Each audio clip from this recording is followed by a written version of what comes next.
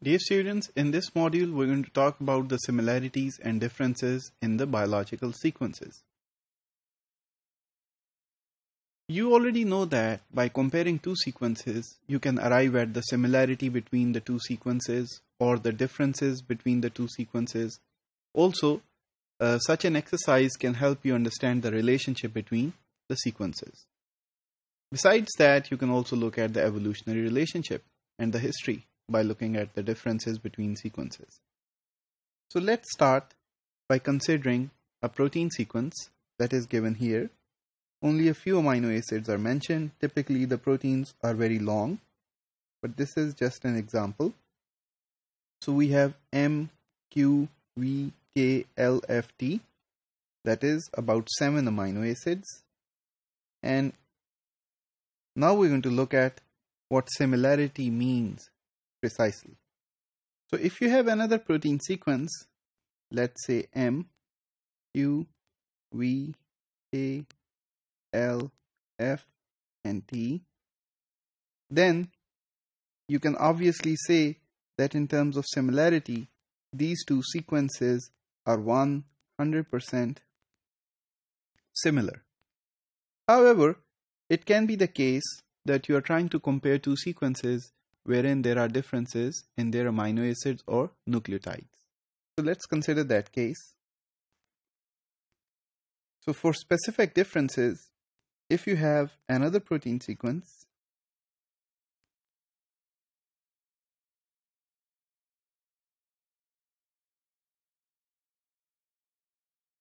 then you can argue that there is a difference between these two sequences in leucine and isoleucine. So by looking at specific differences, you can see how two sequences they differ from each other. So in this case, the similarity will obviously be less than 100. In terms of relationship, so if you want to see the relationship between two sequences, then you can consider again two very similar sequences and the relationship is obvious that these two proteins or peptides are sourced from the same protein or species. More so, let's consider another situation where you have slight variation in the last two amino acids.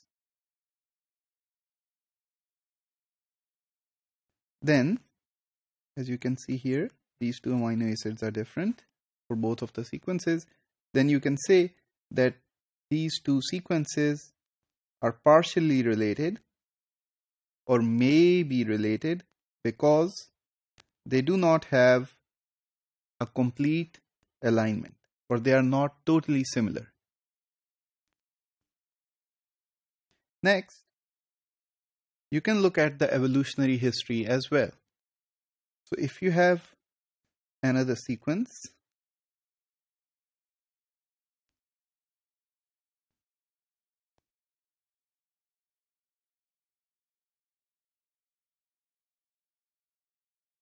then you can say that these two sequences are varying in one amino acid and if you have another sequence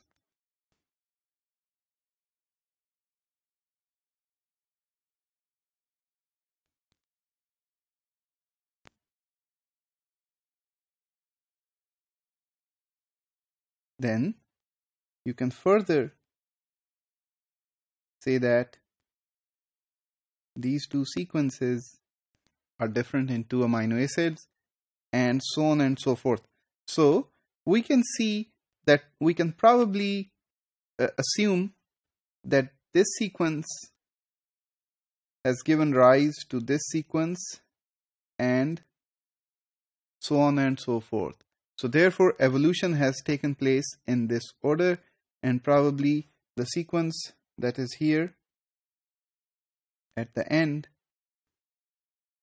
is the most evolved sequence. In this way, you can also look at the evolutionary history. Now, I will like to introduce exact matching to you. So the exact matching idea is that two sequences, they are not only similar in terms of the amino acids or nucleotides in case of DNA and RNA, but that their order in which they are present in the sequence is exactly the same. So as I mentioned in the previous example, if you want, if you're going for exact matching by placing two sequences against each other, then they should have the exact same amino acids or nucleotides plus they should exist in the same order.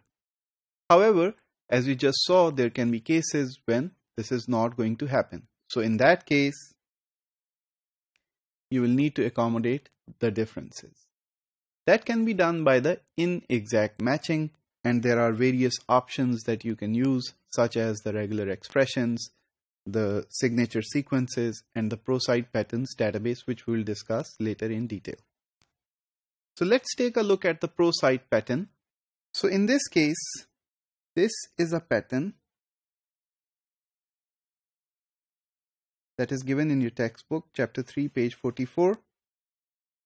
And the hyphens here, so let's start from the hyphens. The hyphens, they separate the elements of the pattern.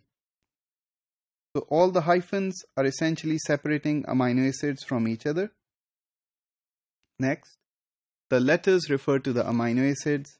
For example, here, here, here, R, D, A, and C. And next, X indicates any amino acid that may be from the 20 different amino acids and the bracketed numbers they denote, denote the repeat length. So as you can see here, this X can be repeated 9 times. So it means any amino acid occurring 9 times. However, there may be a situation where this repeat length is variable. So in that case, the variation is represented like this. So any amino acid that is X may occur 72 times till 86 times. So that is how you represent the ProSite pattern for MAP kinase protein. MAP kinase protein is a very important protein. It phosphorylates a lot of proteins and is responsible in the mitosis and apoptosis in the cellular behavior. So using such prosite patterns, you can talk about sequences that are there and represent them using prosite patterns. In conclusion, the exact matches allow you to compare two sequences exactly while inexact matching allows you to compare rather stochastically between various sequences.